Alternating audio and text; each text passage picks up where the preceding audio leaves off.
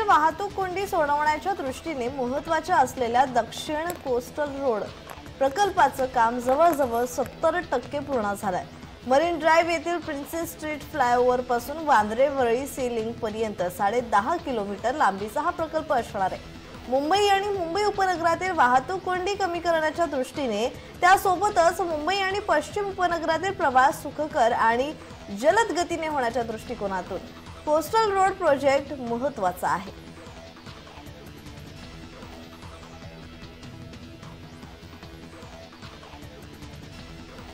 कसबा आणि चिंचवड पोटनिवडणुकीच्या प्रचार तोफा शुक्रवारी थंडावल्या प्रचाराच्या शेवटच्या दिवशी निवडणुकीत एक वेगळा ट्विस्ट समोर आलाय. पोलिसांच्या उपस्थितीत भाजपा नेता आणि पदाधिकारी लोकांनी पैसे वाट- वाटप केले असल्याचा आरोप महाविकास आघाडीचे उमेदवार रवींद्र धंगेकर यांनी केलाय. रवींद्र धंगेकर हे शनिवारी म्हणजेच आज कसबा गणपती मंदिराबाहेर त्यांनी उपोषणाला सुरुवात केली.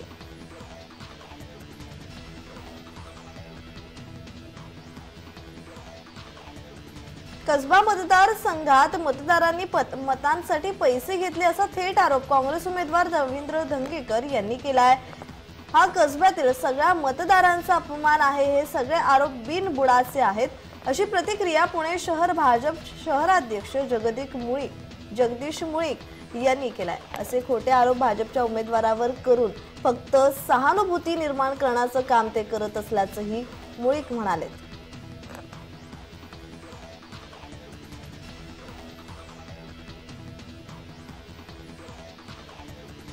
आम आदमी पक्षाच्या नेत्यांनी मातोश्रीवर जाऊन उद्धव ठाकरेंची भेट घेतली. यावर संजय राऊतांनी माध्यमांशी बोलताना भाष्य केलंय. दोन हजार चोवीसची तयारी आम्ही हळूहळू सुरू केली आहे केजरीवाल आणि मान यांच्यासोबत काही भूमिकांवर चर्चा झाल्याचंही त्यांनी म्हटलंय.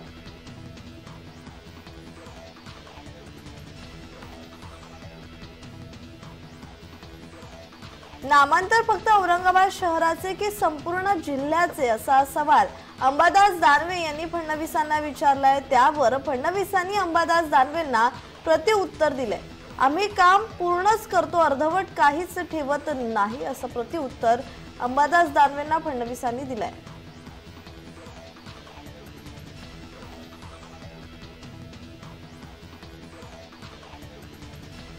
जसा शिंदे गट पडला तसे आणखी गट पडू दे. म्हणजे आम्ही सत्तेजवळ जाऊ असं इम्तियाज जलील यांनी म्हटलेलं आहे. एकनाथ शिंदे हे बोलका पोपट असल्याचंही जलील यांनी म्हटलंय. शिंदेचा रिमोट अमित शहा आणि फडणवीसांकडे असल्याचंही इम्तियाज जलील यांनी म्हटलेलं आहे. इम्तियाज जलील यांनी शिंदेवर घणाघात केलाय.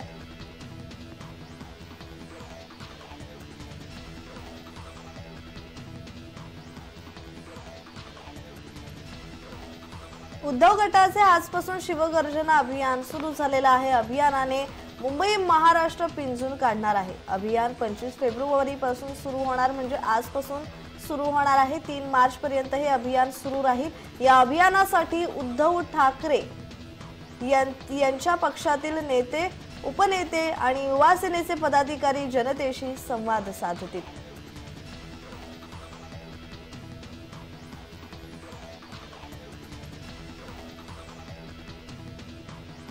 नवी मुंबईत एमआयएम पक्षाचे राष्ट्रीय अधिवेशन होणार आहे. या अधिवेशनाला पक्षाचे राष्ट्रीय अध्यक्ष बॅरिस्टर असुद्दीन ओवेसी अकबरुद्दीन ओवेसी आणि इम्तियाज जलील उपस्थित राहणार आहेत.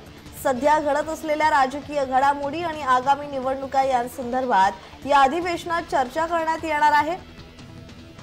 महाराष्ट्रासह देशभरातील सोळा राज्यातील प्रमुख पदाधिकारी या अधिवेशनात उपस्थित राहतील.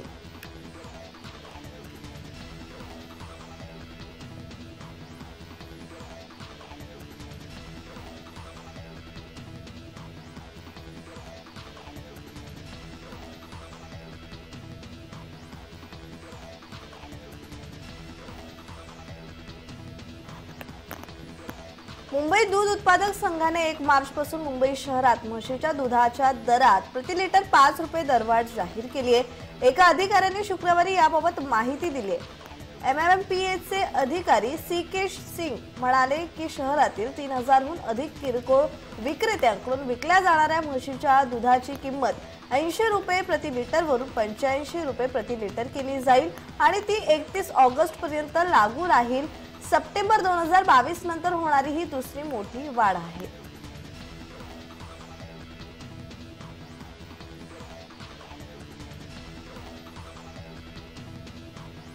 मध्य पश्चिम आणि हार्बर मार्गावरील रोड ओव्हरहेड वायर आणि सिग्नल यंत्रणेची देखभाल दुरुस्तीसाठी करण्यासाठी रविवारी मेगा ब्लॉक घेण्यात येणार आहे. मध्य रेल्वेवर माटुंगा मुलुंड धीम्या मार्गावर हार्बर मार्गावरील पनवेल ते वाशी पश्चिम रेल्वेवर सांताक्रूज ते गोरेगाव अप आणि डाऊन जलद मार्गावर ब्लॉक घेण्यात येणार आहे. मध्य रेल्वेवर माटुंगा ते मुलुंड अप आणि डाऊन भीमा मार्गावर सकाळी अकरा ते दुपारी तीन वाजून पंचावन्न मिनिटांपर्यंत ब्लॉक असेल.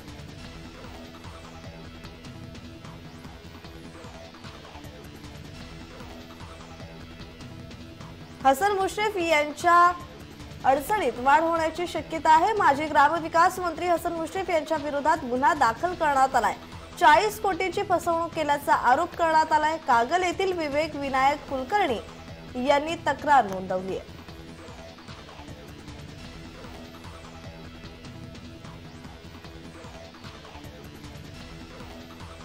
समाजात जशा नकोशी तसे नकोशेही म्हणजेच वयोवृद्ध.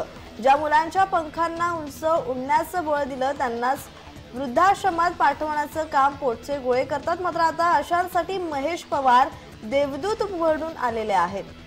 निराधार असलेल्या वयोवृद्धांच्या चेहऱ्यावर हसू आणि आनंद पाहण्यासाठी जीवाची मुंबई या कार्यक्रमाचं आयोजन करण्यात आलं होतं. वीस निराधार वयोवृद्धांना मुंबई दाखवण्यासाठी महेश पवार यांनी त्यांना रेल्वेने घेऊन आले. इतकंच नाही तर त्यांची उपमुख्यमंत्री देवेंद्र फडणवीस यांच्याशी भेटही घडवून आणली. तर अभिनेता सयाजी शिंदेबरोबर दूरध्वनीद्वारे वार्तालाभही करून दिला. त्यानंतर महेश पवार यांनी वयोवृद्धांना घेऊन मुंबईतील विविध ठिकाणी विविध ठिकाणंही दाखवलेत यावेळी त्यांच्या चेहऱ्यावरचं हसू पाहून मनात एकच वाक्य येतं लहानपण दे गा देवा.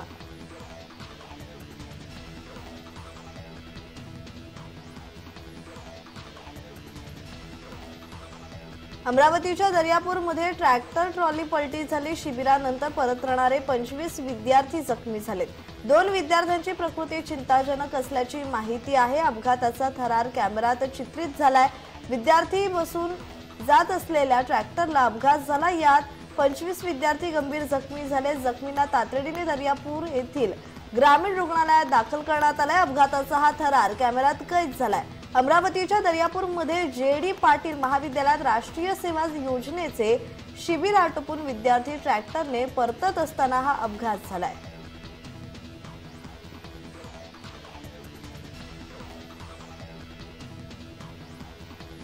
साताऱ्यात खंडाळा तालुक्यातील शेडगेवाडी फाटा येथे शाळकरी मुलांना घेऊन जाणाऱ्या गाडीने अचानक पेट घेतला शालेय मुलांना घेऊन जात असतानाच ही घटना घडली. सुदैवाने यात कोणतीही जीवितहानी झालेली नाहीये. खंडाळा तालुक्यातील शेडगेवाडी फाटा येथे ही घटना घडली असून चालकाने प्रसंगावधान दाखवत मुलांना गाडीपासून दूर केल्याने अनर्थ टळला